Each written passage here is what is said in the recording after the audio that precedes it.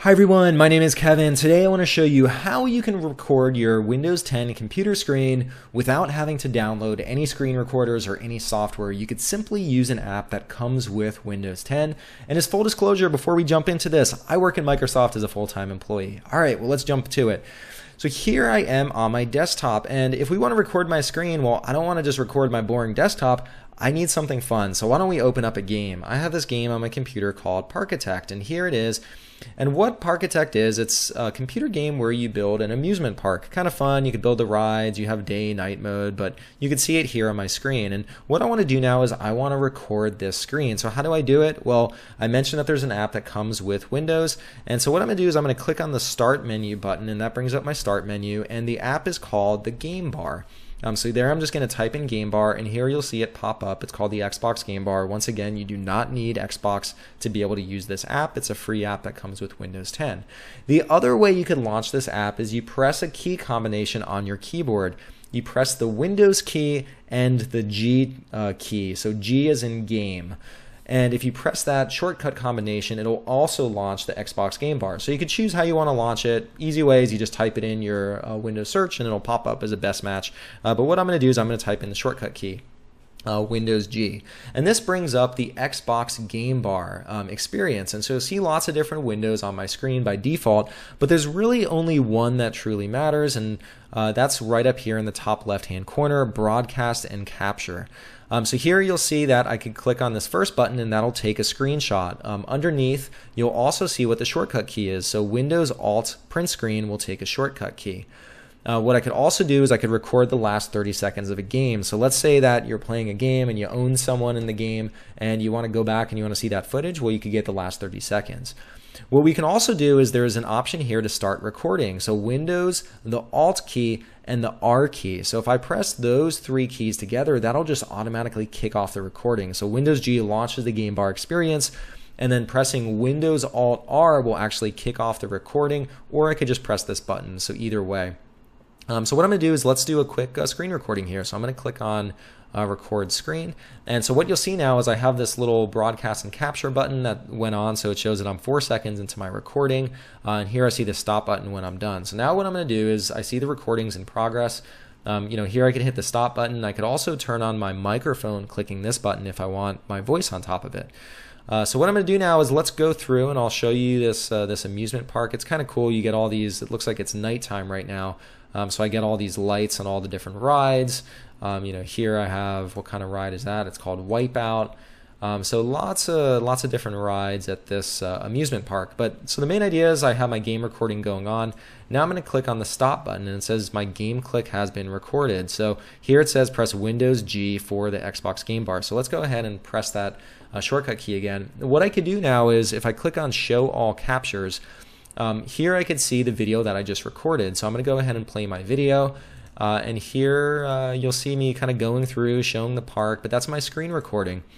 What I can also do is if I click on this Open in File Explorer button, uh, this will show me my video that I just recorded in File Explorer. So let me zoom out here. And what I could do is I'm just going to sort by date so I could find the most recent video. Here I could double click on it.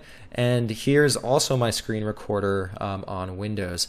Now what I could do is uh, with this file then I could take this MP, uh, MP4 file and I could go to YouTube and I could upload it. I could go to Facebook. I could upload this video by taking this video file. Um, so that's really how simple it is to record your computer screen using the game bar. A few of the things that I also wanted to show with the game bar, what we're going to do is I opened it up again by pressing Windows G. I'm going to click into settings. Now there are a few settings that are kind of interesting and I figured I'd give a quick view of those. One of them is uh, if you click on shortcuts. Um, so here within the shortcut view, you'll see what all the shortcuts are to use the game bar. So you can press Windows G if you want to open the game bar. You could change this to anything else as well if you'd prefer another shortcut key.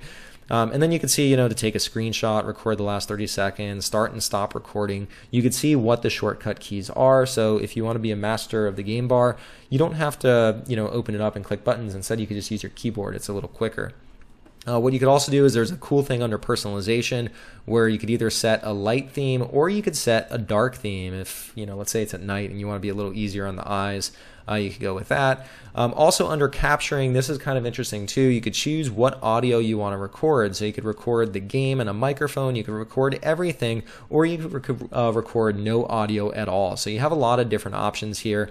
You could also set notifications, so you could turn off notifications when you're playing and recording your screen, and you have a few other settings. So you could go go ahead and just explore the menu and see what you can do within there. I'm going to close out the settings. Uh, some of the other things that you'll see here is you could adjust your audio, so the you know whether the game, how loud you want that to be versus system sounds. You can see your performance to see how well your computer is handling both the game and the uh, the screen recording at the same time. And then because it is an Xbox app, you could also see uh, Xbox social things like who your friends are who are online uh, at the current time. Um, but the key thing of screen recording is included as part of this app. Now, with the Xbox Game Bar and using this as a screen recorder, uh, you could record a browser window. You could record any type of app window. Uh, one of the, and you could record any types of games uh, that you need to record. Some of the downsides, though, is if you use a Win32 app, um, let's say Word as an example, if you click on any of the file menus, the file menus won't show up, and you can only record one window at a time, so you can't record, uh, say, a desktop. Those are some of the drawbacks of the Xbox Game Bar. However, it does come for free as part of your PC, so it's a nice app to try, and especially if you need a uh, screen recorder in a hurry, uh, you could very easily take advantage of this. If you're looking for a better and more powerful screen recorder, though, one thing I'm going to do is I'm going to go back to my desktop. Uh, there's another tool called OBS Studio. I have a video on how to get that and how to set that up. I've included that as the first comment and also in the description. If you want a more powerful screen recorder, that's a very good option. You have lots of customization. You could, you know, set lots of different things. Uh, it's more powerful than the Game Bar, but once again, it requires a download. It's also free, but it's a little more complicated. Requires a few more steps. Um, so all in all, the Game Bar is a pretty solid screen recorder that'll let you uh, record your Windows 10 computer screen without any issues. Anyway, I hope you found this video uh, useful. If you did, please give it a thumbs up. If you want to see more videos like this in the future, please hit that subscribe button. And if you have any questions, any comments, feel free to leave it down below uh, in the comments and I'll do my best to respond to them. Anyway, thanks for watching and I will see you next time. Bye.